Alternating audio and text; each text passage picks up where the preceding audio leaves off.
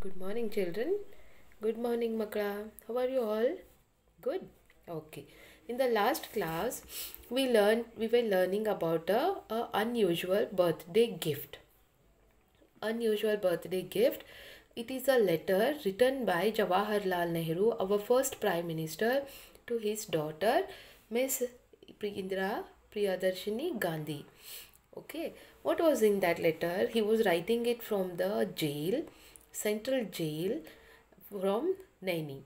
In the letter, he mentioned that you it may be a different it is not a usual gift which you were getting on your birthday it is a different type of gift what i am sending to you it is a letter which you don't feel to bore which you don't feel to bore uh, which you don't feel bored to read it. You think that we both are sitting together and discussing about the points. And he mentions about a person hyun stang hyun sang hyun sang who was a visitor from china. He wrote a wonderful book in which he described about our country.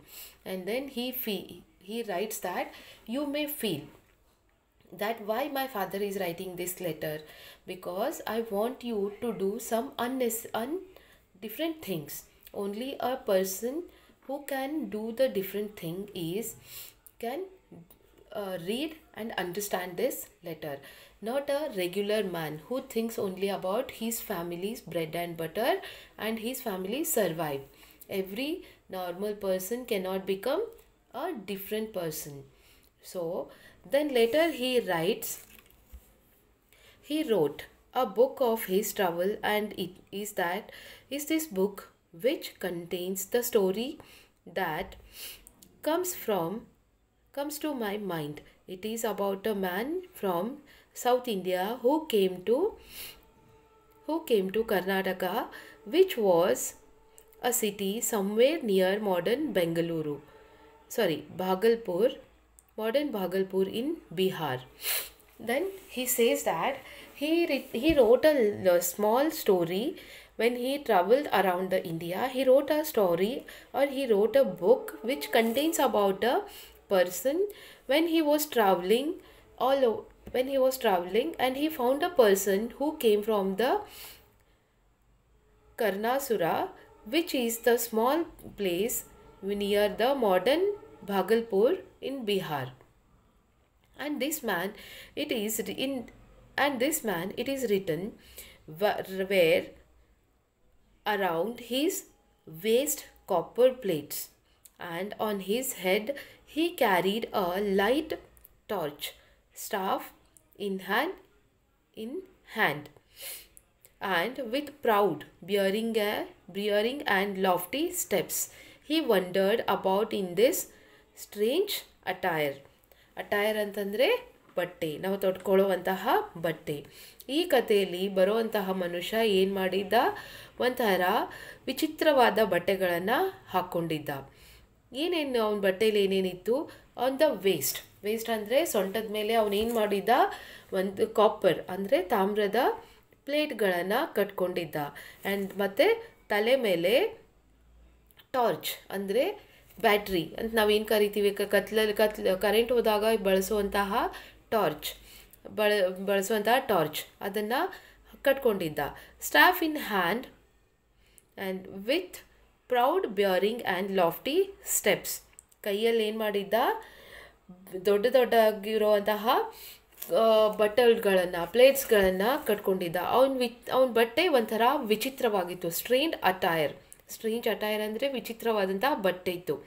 And wear so great that he was afraid his belly would burst if he did not wear copper plates around and around it ಅವನಿಗೆ ಒಂದು ಭಯ ಇತ್ತು ಆ ಮನುಷ್ಯನಿಗೆ. ಏನಂತಂದರೆ ನಾನು ಏನಾದರೂ ನನ್ನ ಹೊಟ್ಟೆ ಸುತ್ತ ಈ ಕಾಪರ್ ಪ್ಲೇಟ್ ಅಂದರೆ ತಾಮ್ರದ ತಟ್ಟೆಗಳನ್ನು ಕಟ್ಕೊಂಡಿಲ್ಲ ಅಂದರೆ ನನ್ನ ಹೊಟ್ಟೆ ಒಡೆದೋಗುತ್ತೆ ನನ್ನ ಹೊಟ್ಟೆ ಒಡೆದೋದ್ರೆ ನಾನು ಏನು ಮಾಡಬೇಕು ಅಂತ ಅವನಿಗೆ ಏನಾಗಿತ್ತು ಭಯ ಇತ್ತು and because he was moved with pity for the ignorant people around about him who lived in darkness he carried the light on his head he was and because he was moved with a pity for the ignorant people ಯಾರು ಅವನನ್ನು ignore ಮಾಡೋದು? ಅಂದರೆ ಯಾರು ಅವನ ಬಗ್ಗೆ ಹೋಗಲಿ ಬಿಡುವಂಥ ಒಂಥರ ವಿಚಿತ್ರವಾಗಿ ಕಾಣ್ತಾನೆ. ಇವನ ಬಗ್ಗೆ ಏನು ಯೋಚನೆ ಮಾಡೋದು? ಬಿಟಾಕು ಅಂತ ಯೋಚನೆ ಮಾಡೋ ಜನರ ಬಗ್ಗೆ ಅವನಿಗೆ ಪಾಪ ಅನ್ನಿಸ್ತಿತ್ತು ಕರುಣೆ ಅನ್ನಿಸ್ತಿತ್ತು ಯಾಕಂದರೆ ಇವರೆಲ್ಲ ಕತ್ಲಲ್ಲಿದ್ದಾರೆ. ಇವರೆಲ್ಲ ಕತ್ಲು ತುಂಬಿದ ಜಗತ್ತಲ್ಲಿ ಇನ್ನೂ ಬಾಳ್ತಿದ್ದಾರೆ. ನಾನು ಬೆಳಕಲ್ಲಿದ್ದೀನಿ. ನನ್ನ ತಲೆ ಮೇಲೆ ಏನಿದೆ? ನಾನು ಬೆಳಕನ್ನಿಟ್ಕೊಂಡು ಅಡ್ಡಾಡ್ತಿದ್ದೀನಿ, ಸುತ್ತಾಡ್ತಿದ್ದೀನಿ. Well, I am quite sure that there is no danger of my ever bursting with too much. Too much wisdom and so there is no need of for, need for me to wear copper plate or armor. Well, I am quite sure that there is no danger. Then go to Ali Eno ಭಯ ಪಟ್ಕೊಳ್ಳುವಂಥ ವಿಷಯ ಇಲ್ಲ. ಯಾಕಂದರೆ ನಾನು ನನ್ನ ಹೊಟ್ಟೆ ಸುತ್ತಲೂ ಏನು ಕಟ್ಕೊಂಡಿದ್ದೀನಿ? ತಾಮ್ರದ ತಟ್ಟೆಗಳನ್ನು ಕಟ್ಕೊಂಡಿದ್ದೀನಿ. ಅದು ನನ್ನ ನನ್ನ ಹೊಟ್ಟೆ ಒಡೆದೋದ್ರೂ ಕೂಡ ಈ ತಾಮ್ರದ ತಟ್ಟೆಗಳು ಅದನ್ನು ಅಲ್ಲೇ ಜೋಡಿಸಿಟ್ಕೊಳ್ಳೋದಕ್ಕೆ ಸಹಾಯ ಮಾಡುತ್ತೆ.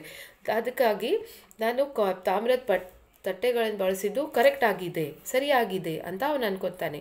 If I am so limited in wisdom how can I pose as a wise man and distribute good advice to others. And so I have always thought that the best way to find out what is right and what is not right, what should be done and what should not be done is not is not by giving a sermon but by talking and discussing by talking and discussing and out of discussion sometimes a little bit of the truth comes out. If i'm am I am so limited in wisdom ನನಗೇನಾದರೂ ತುಂಬ ಕಡಿಮೆ ವಿದ್ ಬುದ್ಧಿ ಇದ್ದಿತ್ತು ಅಂತಂದರೆ ನಾನು ಬೇರೆಯವ್ರ ಜೊತೆಗೆ ಹೇಗೆ ಒಂದು, ಒಂದೇ ಒಂದು ಗತಿಯಲ್ಲಿ ಅವ್ರ ಜೊತೆಗೆ ಮಾತಾಡೋದಕ್ಕೆ ಸಾಧ್ಯ ಆಗ್ತಿತ್ತು, ಯಾವುದು ಸರಿ, ಯಾವುದು ತಪ್ಪು ಅಂತ ಹೇಗೆ ಚರ್ಚೆ ಮಾಡೋಕ್ಕಾಗ್ತಾ ಇತ್ತು? ಯಾಕೆ, ಅದು ಆಗ್ತಿರ್ಲಿಲ್ಲ. ಅದಕ್ಕಾಗಿ ನಾನು ಕರೆಕ್ಟಾಗೇ ಮಾತಾಡ್ತೀನಿ, ನಾನು ಸರಿಯಾಗೇ ಮಾತಾಡ್ತೀನಿ, ನಾನು ಯಾವತ್ತೂ ತಪ್ಪು ಮಾತಾಡೋಲ್ಲ, ನಾನು ಕರೆಕ್ಟಾಗಿದ್ದೀನಿ ನಾನು ಬೇರೆಯವ್ರ ಜೊತೆಗೆ ವಾದ ವಿವಾದ ಮಾಡೋದಕ್ಕೆ ಅಥವಾ ಒಂದು ಪ್ರತಿಪಾದನೆ ಮಾಡೋದಕ್ಕೆ ನಾನು ಕರೆಕ್ಟ್ ಆಗಿದ್ದೀನಿ. Sometimes a little bit of the truth comes out ನಾನು ಮಾತಾಡುವಾಗ ಕೆಲವು ಸಲ ಏನಾಗುತ್ತೆ ನನ್ನ ಬಾಯಿಂದ ಸತ್ಯನೂ ಹೊರಗಡೆ ಬಂದುಬಿಡುತ್ತೆ. ನಾನು ತುಂಬ ಕರೆಕ್ಟಾಗಿ ಸರಿಯಾಗಿ ಮಾತಾಡ್ತೀನಿ. I have like my like my talks with you and we the we have discussed many things but the world is wide, and beyond our world lie other wonderful and mysterious worlds. ಅವಾಗ ಅವನೇನು ಅನ್ಕೊತಿರ್ತಾನೆ I have like my talks ನಾನು, ನನಗೆ ನನ್ನ ಮಾತು ಅಂತಂದರೆ ತುಂಬ ಇಷ್ಟ. And we have discussed many things but the world is wide and beyond our world lie other wonderful and mysterious worlds ನಾನು ಮಾತಾಡೋದು ಏನಂತಂದರೆ ತುಂಬ ಚೆನ್ನಾಗಿ ಮಾತಾಡ್ತೀನಿ, ಅದು ನನಗೆ ತುಂಬ ಇಷ್ಟ. ನಾವು ಇಷ್ಟೊತ್ತು ಒಂದು ಡಿಸ್ಕಷನ್ ಮಾಡಿದ್ವಿ. ಏನು ಅಂದರೆ we have discussed something about many things we have discussed about many things but the world ನಾವಿರೋ ಜಗತ್ತು ಏನಿದೆ, ಆ ಜಗತ್ತಲ್ಲಿ ಇನ್ನೂ ಬೇರೆ ಜ, ಇನ್ನೂ ಬೇರೆ ಜಗತ್ತು ಇದೆ. ಆ ಜಗತ್ತಿನ ಬಗ್ಗೆ ನಾವು ತಿಳ್ಕೊಳ್ಬೇಕಾಗಿರುವಂಥ ಸಾಕಷ್ಟು ವಿಷಯಗಳು, ಸಂಗತಿಗಳು ಇವೆ. ವಂಡರ್ಫುಲ್ ಆ್ಯಂಡ್ ಮಿಸ್ಟೀರಿಯಸ್ ಜಗತ್ತಲ್ಲಿ ತುಂಬ ಅತ್, ಆಶ್ಚರ್ಯಜನಕವಾಗಿರೋ ಅಥವಾ ಉತ್ತರನೇ ಸಿಗದಿರುವಂತಹ ಮಾತುಗಳಿವೆ, ವಸ್ತುಗಳಿವೆ, ಜಾಗಗಳಿವೆ. ಅವುಗಳ ಬಗ್ಗೆ ನಾವು ತಿಳ್ಕೊಳ್ಳೋದು, ಮಾತಾಡೋದು ತುಂಬ ಇದೆ ಅಂತ ಯಾರು ಅನ್ಕೋತಾರೆ? ಈ ಮನುಷ್ಯ. ಯಾರು ಆ ತಾಮ್ರದ ತಟ್ಟೆಗಳನ್ನು ತನ್ನ ಸೊಂಟಕ್ಕೆ ಕಟ್ಕೊಂಡಿರೋನು. ಏನಂತ ಅಂದ್ಕೊಂಡಿರ್ತಾನೆ ನನ್ನ ಹೊಟ್ಟೆ ಹೊಡೆದೋದ್ರೆ ಈ ತಟ್ಟೆಗಳು ಅವುಗಳ ಅದನ್ನು ರಕ್ಷಿಸುತ್ತೆ ಅಂತ. So children keep reading and then we meet in the next class okay?